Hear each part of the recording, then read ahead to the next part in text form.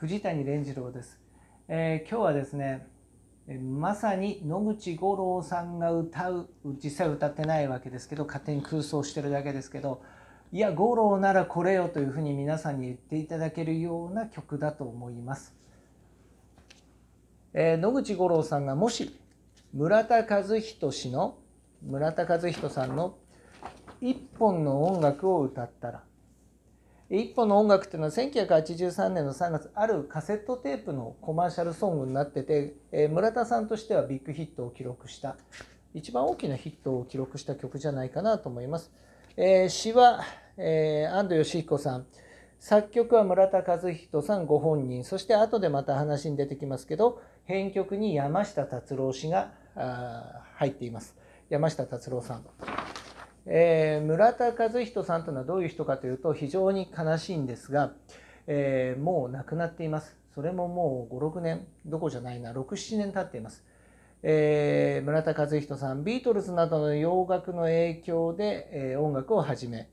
で、え学生から学生時代からいろんな曲を作って、まあ、縁あって山下達郎さんや、え杉正道さんなんかと近い関係になり特に山下達郎さんはむしろこの人を引っ張り上げた人とも言えるかもしれません。え村田さん自身も山下さんとの関わりは浸水しているようなところがあって、えまあ言ってみればナイアガラあの大竹一さんに発するナイアガラトライアングルの中の比較的外縁のイメージただし山下達郎さんナイアガラトライアングルボリューム1のメンバーですし杉正道さんボリューム2のメンバーですしこの杉正道さんと一緒にアロハブラザースというユニットを組んだりもしてましたから、まあ、その周辺の人だったと言えます。えー、ただし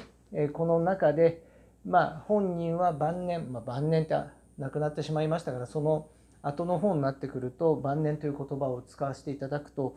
えー、専門学校の講師などやりながらバンド活動というよりも後進を育てるバンド活動やりながら後進を育てるというふうに舵を切られたようです。ただ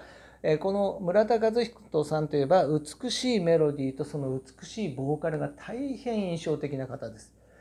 でメロディーとあとコードの処理の仕方も独特でしてねすごく綺麗な曲を書くなという気がします。はい、一本の音楽は先ほど申し上げたように村田和人氏のその村田和人氏の代表作です。えー、おそらく多くの人が一聴しただけで一度聴いただけで心を奪われるはずだと思います。多くの人が全員とは言いませんけどもう最初のギターのソロからもうぐーっとつかまれる感じです、えー、メロディーとサウンドと書きました、えー、どんな内容かというとカセットに別れた彼女何らかの事情で別離した女の子を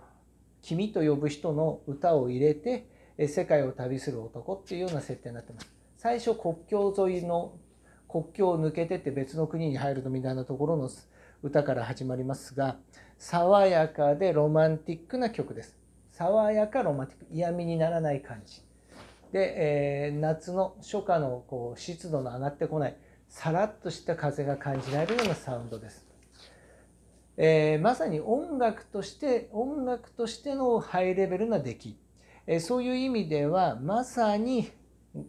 野口五郎さんが歌ったらどうなるかと私は感じるわけですね。そのカセット一つ持ってそしてギターを抱えてまさに村田和人さん本人がそういう感じの人だったわけですけどそのギターを抱えて音楽が好きで音楽のいい音いい歌を作りたいというところを歌っている感じで言うとまさに野口五郎氏のまあ一番グッとはまるところじゃないかと。そしてあの美しい声というところを考えるとですねイントロにえー、イントロの耳に残るギターから違和感なく世界の旅に誘うということが多分五郎さんが歌うとなるんじゃないかなと。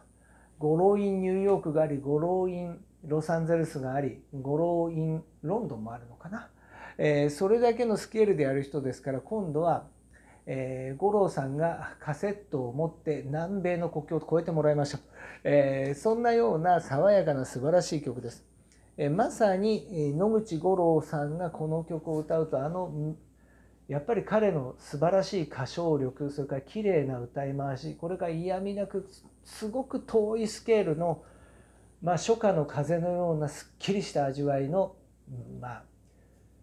嫌味のないソーダ水のようないつまでも飽きないサウンドが聞こえるんじゃないかななんていうふうに僕は思います。えー、村田和人さんの一本の音楽もちろんこれ自体は傑作中の傑作なんですけどそれを五郎さんがあのギターを持ってどう料理するかなんてことを考えると本当にワクワクします。まあ、勝手な想像ですが、えー、今日は野口五郎さんが亡き村田和人氏の一本の音楽を歌ったらというところで想像してみました。それでは失礼します。